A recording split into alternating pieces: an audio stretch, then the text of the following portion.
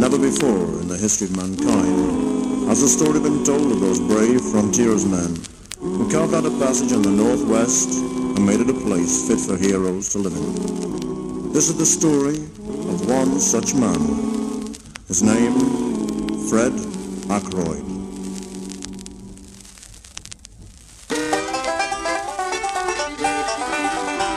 It's hard being a cowboy in Rochdale. Spurs don't fit right on me clogs. It's hard being a cowboy in Rochdale. Cause people laugh when I ride past an our Alsatian dog. Almost every night there's a tripe and cowheel fight in our local pie and peas saloon. And poor old Uncle Fred, he spent 18 months in bed Cause he tried to kiss a girl who's a boy called Sue. And it's hard being a cowboy in Rochdale. The spurs don't fit right on me clogs It's hard being a cowboy in Rochdale Cause people laugh when I ride past an our Alsatian dog.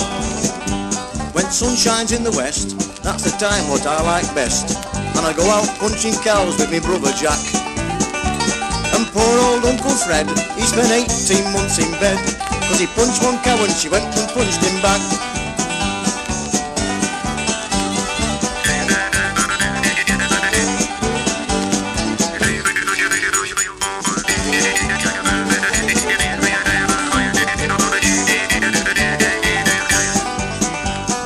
local temperance bar, we go in and have a jar. Cause a sarsaparilla and licorice juice to drink. And poor old Uncle Fred, he spent 18 months in bed Cause he sucked the stuff they used to clean the sink. And it's hard being a cowboy in Rochdale.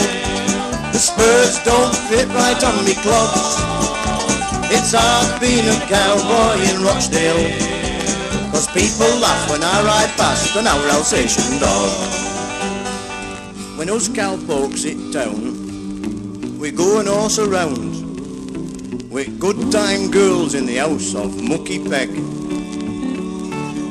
When Auntie Kitty found Uncle Fred, he spent 18 months in bed. Cause you can't run fast with your pants halfway down your legs. It's hard being a cowboy in Rochdale.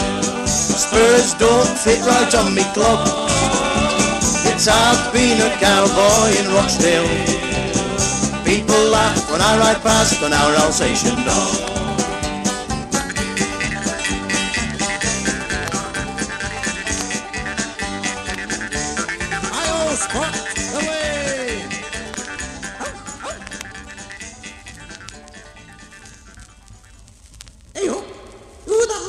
Mask? I mean, uh, who was that?